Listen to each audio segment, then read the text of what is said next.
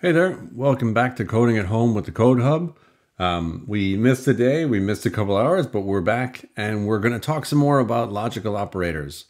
Um, I, this was all a big plan. It was to get you to think a little bit more about uh, what logical operators are, how you could use them in your daily life, and um, really let it sink in. So today we're going to walk through a few concepts. I'm going to try to bring it home with a, an illustration of exactly how logical operators work uh, and what decisions are being made, um, both by by byte when we're running the puzzle, and then by by you and and determining how you're going to solve a, a puzzle and how you can use logical operators to to solve those puzzles. So we're going to work through that first with an example. Uh, and then we're going to go back to the playgrounds and and work through some of those examples that we had um, in Wednesday's session. Next week, we're going to do a, a, debugging session with one of our, our coders here in the house. Uh, we're going to walk through some of the code that she wrote and try to figure out all right, where it went wrong, what it did right, what was kind of interesting about it, um, which is always a good exercise to do is to go back over the code you've written and figure out what did you do well, what did you do wrong, how would you do it differently now that you've seen it in action. Um, so we'll we'll walk through some of that stuff. But first, I want to give you a little presentation on making decisions and logical operators kind of in action. So let's go take a look. Okay, so uh, it's called making decisions because that's all we're doing with conditional coding and logical operators is we're just trying to make a decision what code we want to have run. Whether it's with byte in the puzzles or whether it's in response to something somebody typed in in our quiz. And we'll hopefully get to that a little bit on Monday as well. We'll work on building up some much more interesting quizzes where we can react to information the user types in. So, so far, we've just been pushing byte forward without too much thought. So off byte goes, just moving forward. Now, when we get to conditional coding, what we do is Byte actually does a little bit of an evaluation of his surroundings before moving on to the before we actually run any code. So Byte hops onto that first tile and asks himself, "Hey, is there a gem here? Is there something in my way?" And based on the answers to that, in this case, there's no gem, there's nothing in his way. We'll we'll set certain properties on Byte. And it'll look a little bit like this. So we've used some of those properties like is on gem or is blocked. And each one of those properties is set as a result of the answer to is there a gem or is something in my way.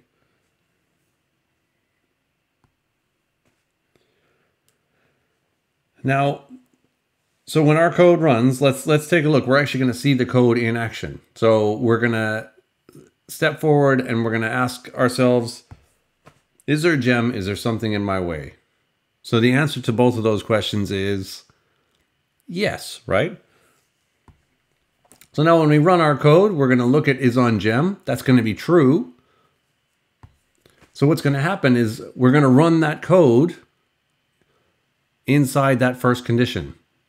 Because remember, when we ask if, and then we give it a condition like is on gem, if it's true, we're going to run that code.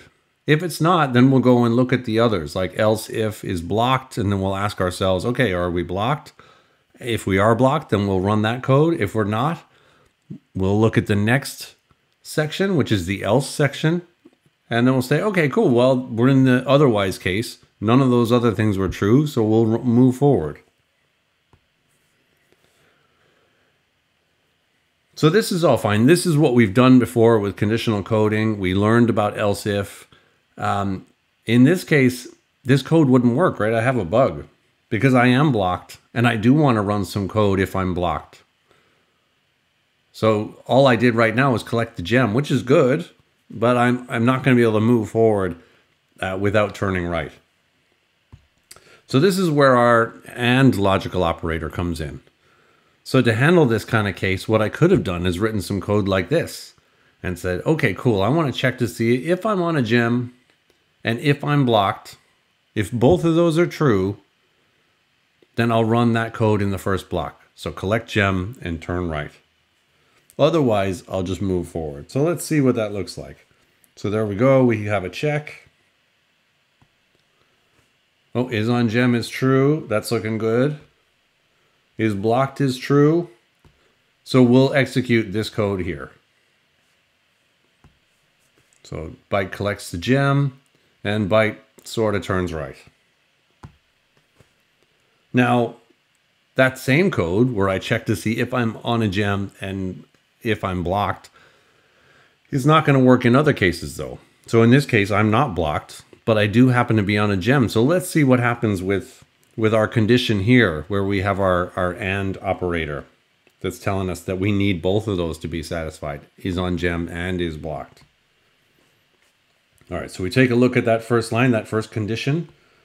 Okay, is on gem is true. And is blocked is false because there's nothing in front of me. There's nothing in my way.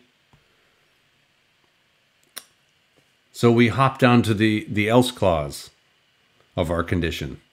So we don't wind up collecting the gem. So there's a bug in our code here. So we used a, an AND logical operator, but our code still isn't isn't quite right in this case. We have to we'd have to change our code. Maybe it's not the right tool for the job. Now something that might be the right tool for a job, well in this case in particular, we had this example in, in the book. Um, they had a, a conditional where they said, okay, if I'm on a close switch or if I'm on a gem, uh, byte should dance because that's a situation we want to be in. We want to be able to toggle that switch on and we want to be able to collect that gem. So that's a good scenario. So we'll, we'll dance for it. So what we do, we use these two pipes that we can see underneath making decisions to build our logical OR operator is what we call this. So let's have a check again. So we're going to check and we'll say, all right, so if we're on a gem, okay, cool, well, that's true. So immediately, even without checking uh, if I'm on a close switch, I know that I'm going to run the code inside this conditional. But we'll check it anyway. So that's false. But because is on gem is true, I run the dance code and you can see byte jiggle a little bit. And then we move forward. So now we're going to have another check. We're going to run that same conditional. Imagine we're in a loop here. We'll hop back up. This time is on gem is false and is on close switch is false. So we have no true statements. So what do you think is going to happen now?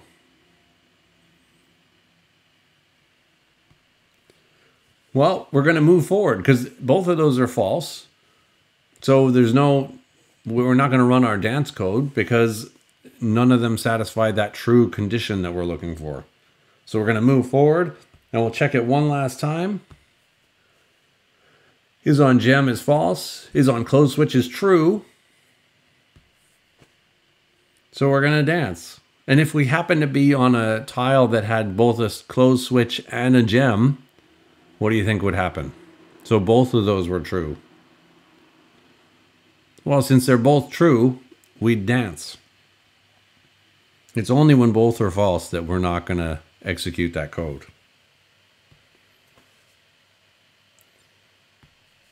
Now, one of the most difficult things about using these operators is finding them on the keyboard. So when you bring up the iPad keyboard, this is where they are.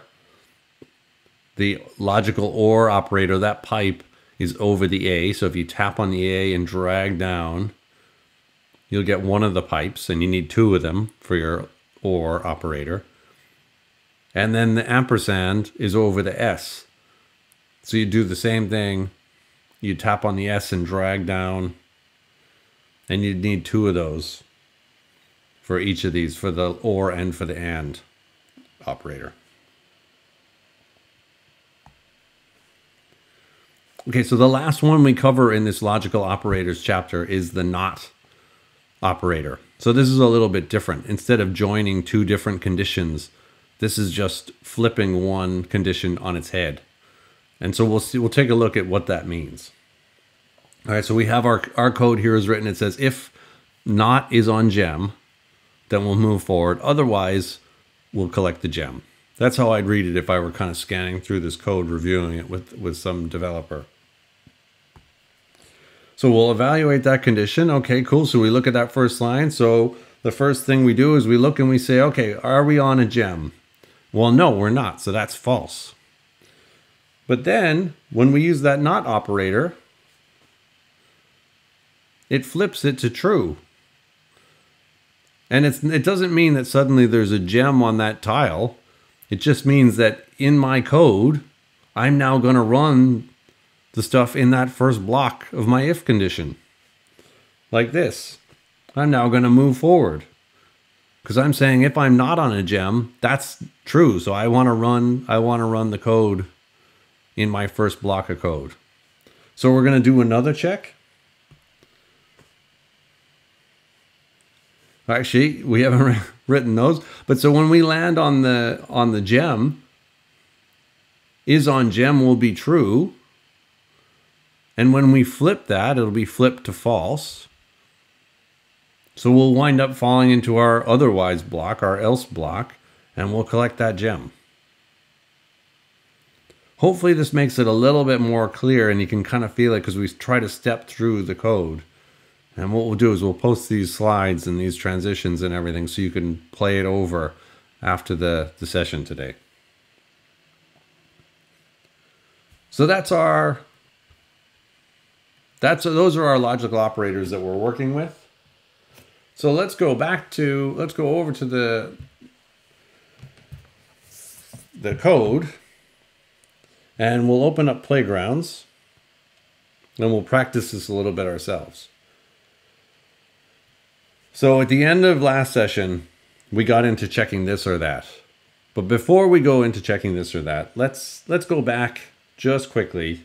So I tapped on the, the title. I'm going to go back to checking this and that and see if it makes any more sense now. Okay, so now we have this condition is blocked left because that's going to help us solve this puzzle. we'll wait for it to load.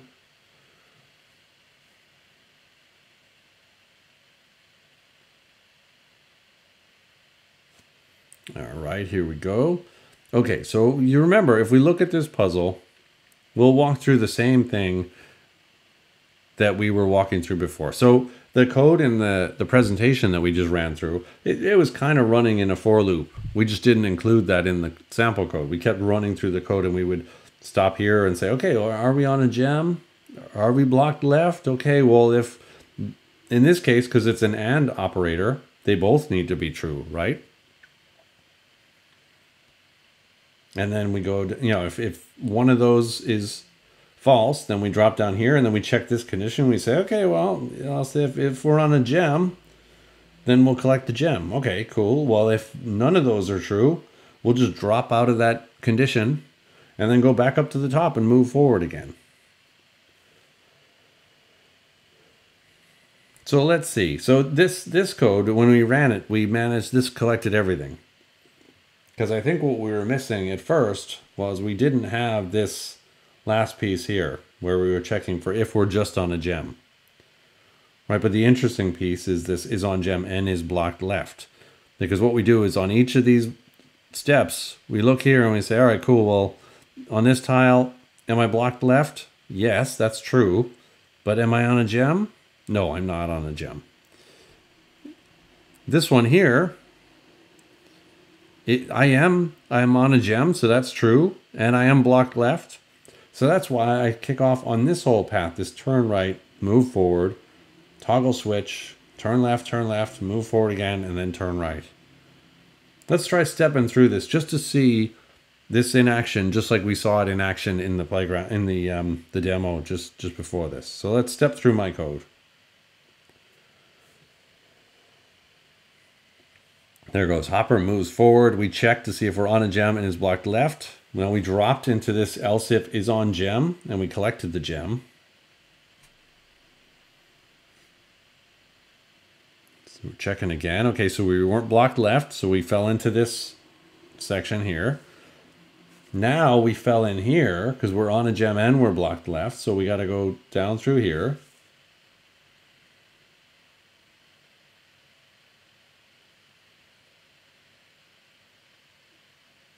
Now the problem is I left the gem behind.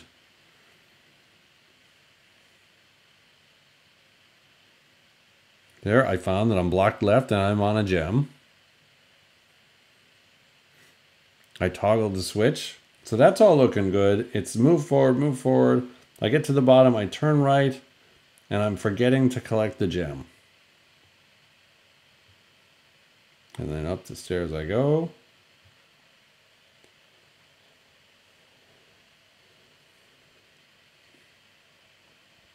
And you'll notice now when we get to the end of this puzzle,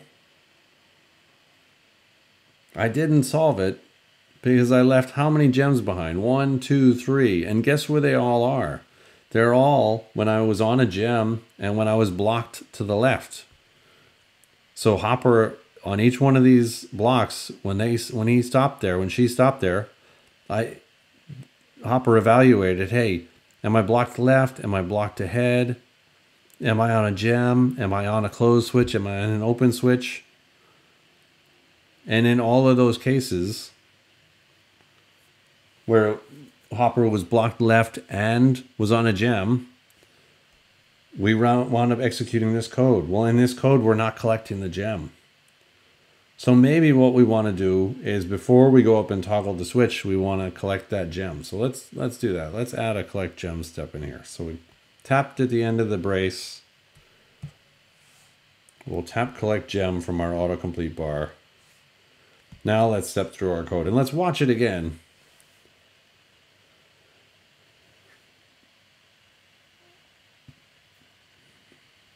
Okay, cool. There goes Hopper collecting gems because we're it's still in this. We haven't gotten into a condition where we're both on a gem and we're blocked to the left. So there's something in our way to the left.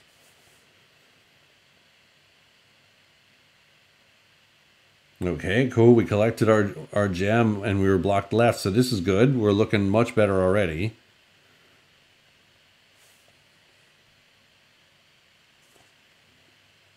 Okay, back hopper goes. Collects the gem because I'm not blocked left. So we just run that one line of code, that collect gem function. Okay, looking way better. We've got five or six gems and we've toggled three or four switches.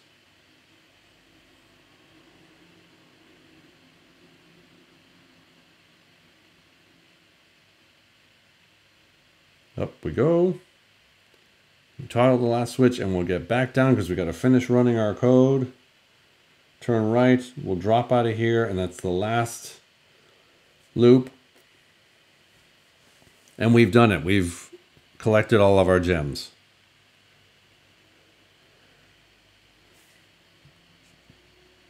Now let's go on to the next one. Let's try doing the OR operator. So checking this or that. Because I know in my mind and in other people's minds in the house, this is a more frequently used one, a, a better one to introduce first. So um, let's go check out checking this or that.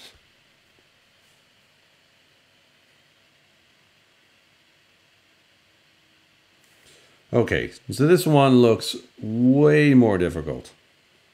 So let's read through the, the instructions. Anytime I get stuck in a puzzle like this where it does look far more difficult than you know just move forward and, and turn left and all that kind of stuff this is okay we've got to figure out how to get to that that portal and then get over there and then turn around. We could write this out longhand and it could be kind of tedious. But there's a loop here, so they're sort of giving us a hint that there's an easier way to do it. Now, you don't have to start out doing it the easier way. In fact, nine times out of 10, when you're programming, you won't do things the easy way the first time. You'll do it the really long, drawn out way, but at least you know exactly what's happening. And it's only later when you look at your code you'll say, "Oh yeah, I see the patterns now." And if you don't see patterns, still there's no big deal. Maybe maybe the way you did it was it works and and that's fine. That's all that matters. All right, so let's have a look at the instructions. So we're using the OR operator to adjust our path if either of two conditions is true. So it's saying to us last logical operator is the or. Okay, so that's cool. We take two Boolean conditions and returns true if at least one is true. So if we're on a gem or is blocked left, we would run move forward. So if we were to run test that condition here, well, we're not on a gem, we're not blocked to the left, so we wouldn't move forward. Now, if we were in here,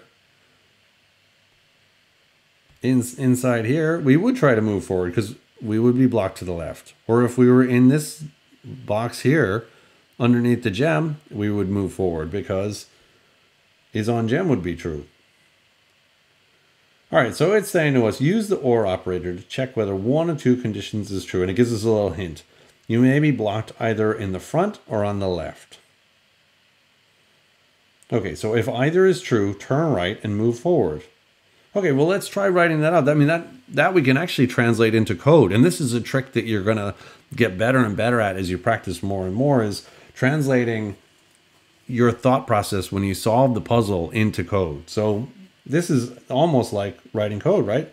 So we'll say if either is true, well, either what? Either we're blocked to the front or on the left. So, okay, so let's bring out an if condition here. So if I'm blocked in the front or on the left. So if something's in my way to the front, so that is blocked. Now, the autocomplete bar is so handy because it's given me the and, the or, the and operator and the or operator. So let me tap on the or operator. So I may be blocked either in front or on the left. So is blocked left means there's something to my left that's going to prevent me from moving that way. So I'll hit is blocked left. So those are the two conditions that we're testing. And then, so if either is true, we want to turn right and move forward. Well, where would we put our, our code then? So the code that we want to run, if either of these is true, we want to run we want to put in here in this block where the code is highlighted blue. So we want to turn right. So we'll scroll over to the right here. We'll tap turn right and then we'll move forward. So we'll scroll over again and move forward. Okay, cool. So that's that's taking care of step one and step two. Step three says if neither is true, move forward. So where do you think we put that? Will we try putting it after the condition? Now, if some of you are screaming no at home, I'm very impressed. If none of you are screaming no at home, no big deal. All right, so let's let's try this out. So if neither is true, move forward. So we're gonna, if we're blocked to the front and we can't move, or we're blocked to the left, we're gonna turn right and move forward. So let's run it.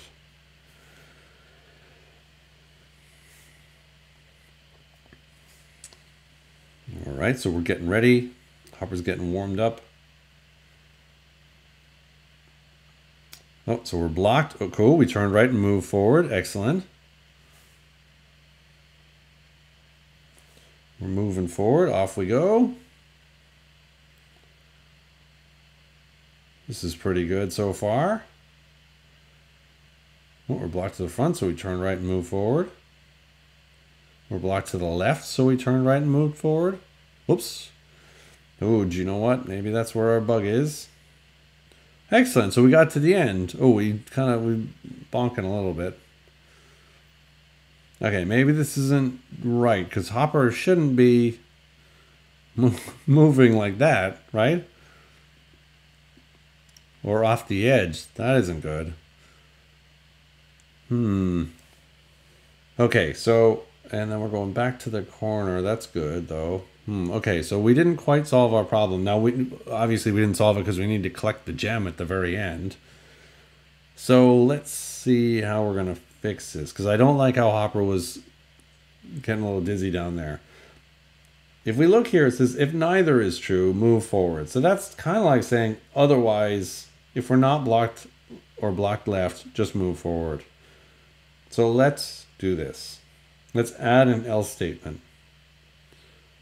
Because we don't care in any other condition. What you know, if we're not if either of these conditions is not true, that means that we're not blocked in the front, so we can move forward, and we're there's nothing to the left of us stopping us from moving. So let's add an else statement and put our move forward in there. So I'm going to tap on the bottom brace and then drag down so that move forward gets moved inside a block of code. And I'm to, if I try running it, it says I need to fill this placeholder. Actually, what I want to do really is just delete that placeholder. So now if I try running my code,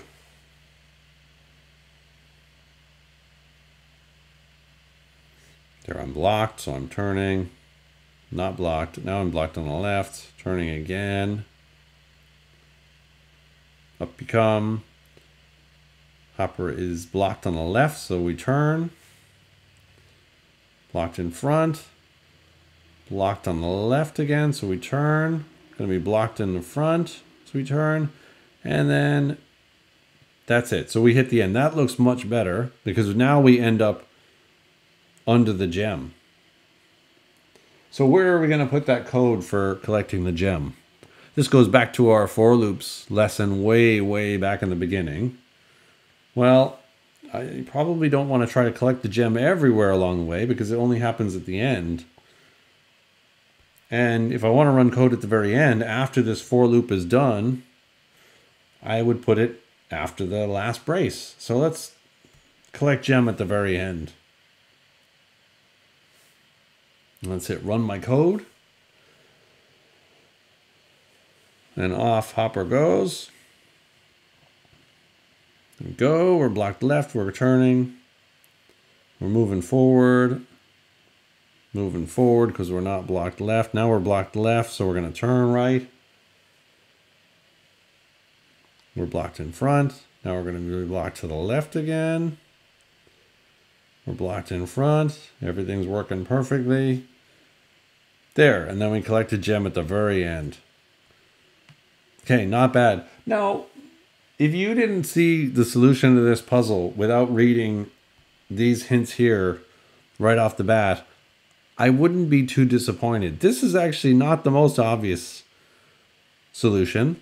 I think personally, I would probably approach it in a in a very crude manner first. I would say, well, I'm actually just going to write out the code where I I move forward and then turn right and then move forward a couple times and maybe use a loop so I don't have to repeat myself too many times. And that would be fine because I'd get to the end and I'd be able to collect the gem. I wouldn't use the logical OR operator, but it wouldn't be the end of the world. The way they wrote this code with a loop kind of gave us a good hint that, all right, we should really try to use a loop in this case. And sometimes it's fun to challenge yourself to say, oh, I want to use this technique that I learned about. So it's no no big shame if you you didn't figure out that this was the way to solve this puzzle straight off the bat. This is why they have these the, the text up at the top is to sort of explain to you what it is they're trying to get you to practice.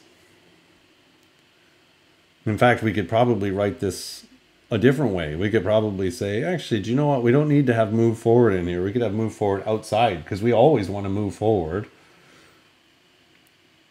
It's just that we want to make sure that we turn right when we are either blocked in front or blocked to the left. So we could write code that looks something like this, like maybe delete this, get rid of our get rid of our else statement, get rid of these. Now I've made a mess of all this code here. Okay, so we have our our if statement there. All of a sudden our move is outside the for loop, so I'm going to tap on it and hold, and then drag it back into my for loop.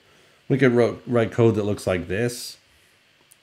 Would work just as well as the other way of doing it.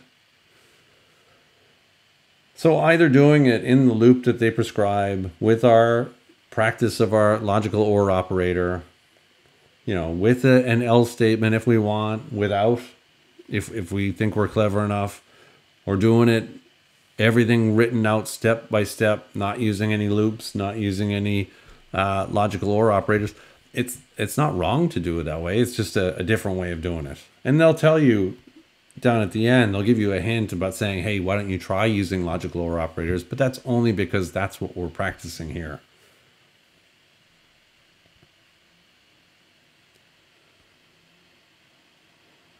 So if we run this code, well, we won't even run this code. We'll we'll run this code next week. The last thing I want to check, just to make sure that you're you're still with us on the the not, just to see that in action too, is to go back to this table of contents here, pick using the not operator, and we're actually going to debug this a little bit on on Monday.